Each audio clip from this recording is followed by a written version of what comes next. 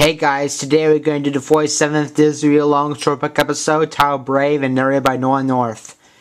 Just so you know, I don't know what this movie is about, so, uh, whatever. Let's get to it.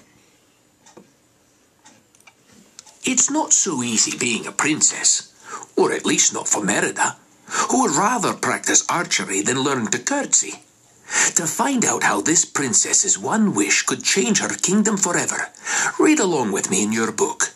You will know it's time to turn the page when you hear this sound. Let's begin now. Long ago, there was a kingdom called Dunbroch. It was a fierce, proud land. The kingdom was ruled by King Fergus, who was strong and brave, and Queen Eleanor, who was wise and fair. King Fergus had lost his leg in a fight with a demon bear named Mordu. The king swore that one day he would defeat the bear once and for all. The king and queen had triplet sons and a daughter named Merida. Merida would eventually be queen, and her mother wanted to make sure that the princess was prepared. A princess must be knowledgeable about her kingdom.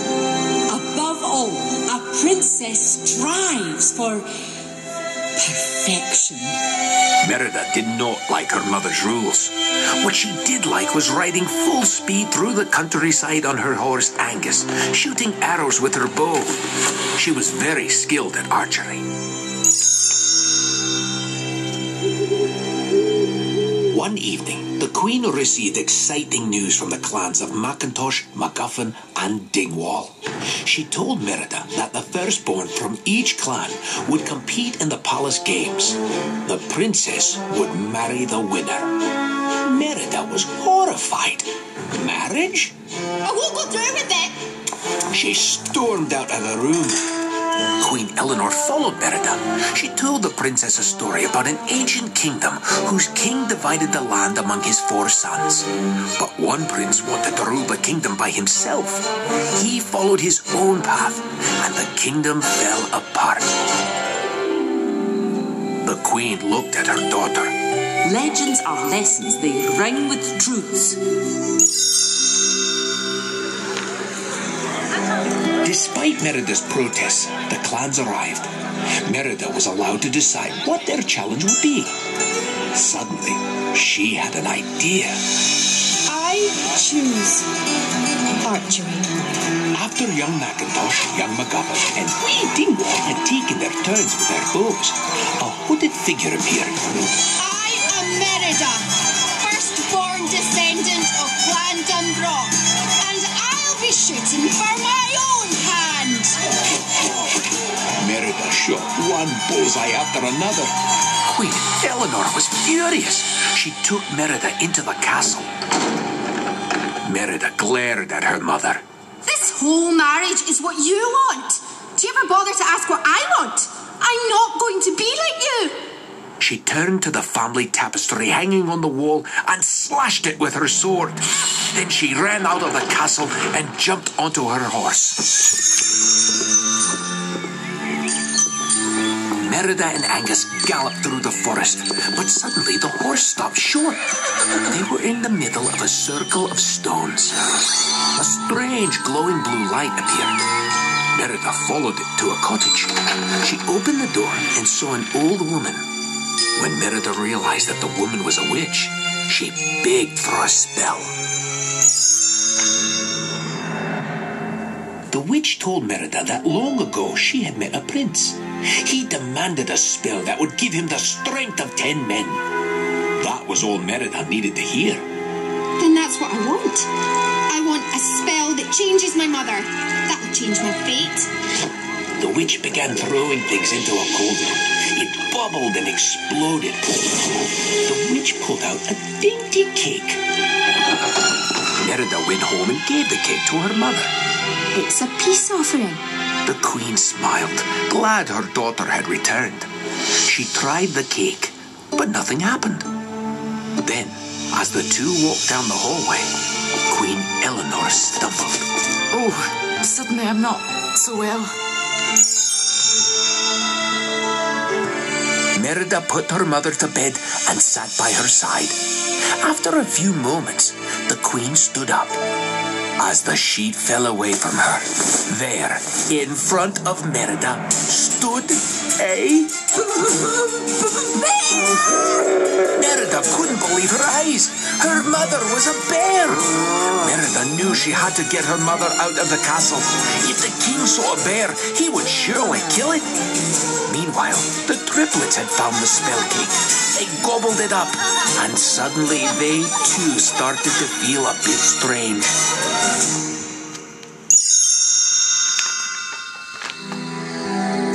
Merida and Queen Eleanor raced to the woods. They needed to reverse the spell, but night had fallen, so they took shelter. The next morning, Merida showed her mother how to catch fish in a stream. For the first time in a while, they had fun together. Finally, the pair found the witch's cottage, but no one was there. Merida jumped. A voice was coming from the witch's cauldron. It told her, Fate be changed. Look inside. Mend the bond torn by pride. Then the same blue light appeared. It led them deeper into the woods to a crumbling ruin. Merida looked around in confusion. Suddenly, the ground gave way underneath her.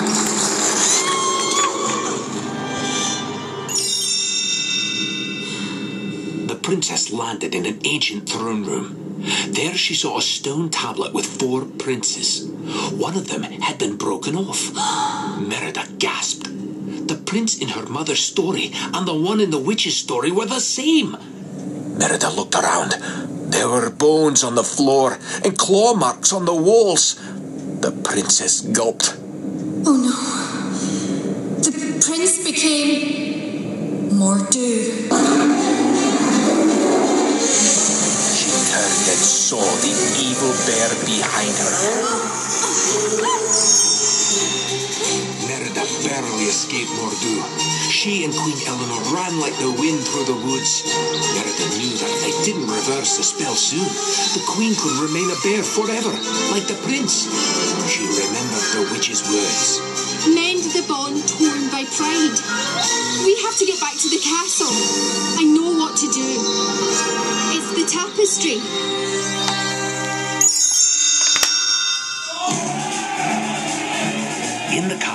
They found the clans in the middle of a huge battle.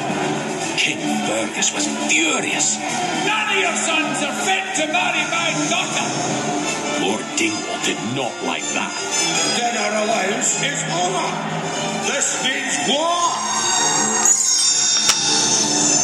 Merida realized that she needed to stop the fighting and decide who she would marry.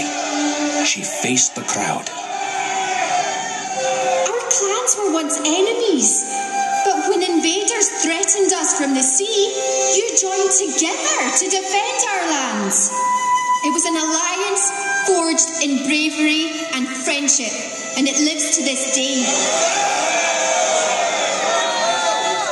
And I know now that I need to amend my mistake and mend our bond. Merida looked toward her mother, who was hidden. The queen was gesturing to say that Merida didn't have to choose. Merida understood at once. I've decided to do what's right. And. and. break tradition. My mother, the Queen,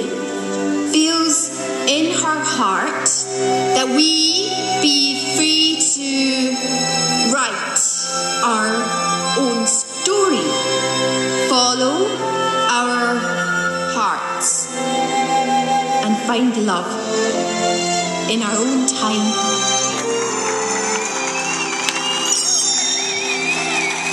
As the crowd cheered, Merida rushed the queen to the tapestry room. Suddenly, King Fergus threw open the door. Merida knew her mother was in danger. King Fergus rushed after the bear. Merida grabbed a needle, some thread, and the tapestry. She was sure she could break the spell. She found her brothers, who had turned into little bear cubs, and they sped toward the woods on Angus. Merida frantically sewed the torn tapestry.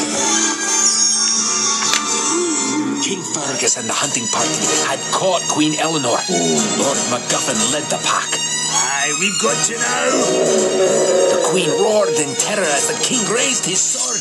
But Merida suddenly burst out of the woods with her own sword. I'll not let you kill my mother. Just then, a huge beast stepped into the ring of stones. His eyes gleamed evilly. Merida gasped. Mordu. The demon bear swatted the hunters away like flies. He tossed King Fergus into the stones. Then he turned to Merida.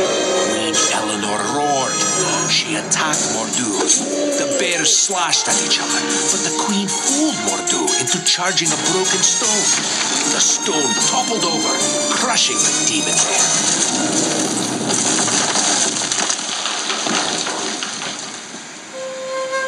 Merida rushed to her mother and placed the minted tapestry over her. Nothing happened. Mum. I'm sorry. This is all my fault. I want you back, Mum. Queen Eleanor growled softly. Merida hugged her. I'm here for you. I'll always be here for you.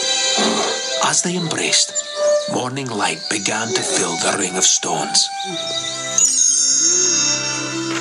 Suddenly, Merida felt a human hand stroke her hair. Her mother wasn't a bear anymore. You're fine. Perfect. The queen smiled at her daughter. The triplets came running over. They were boys again. All was right in the kingdom of Dunbroch as the royal family hugged and laughed. Merida knew that from then on, she could be a princess and still be herself.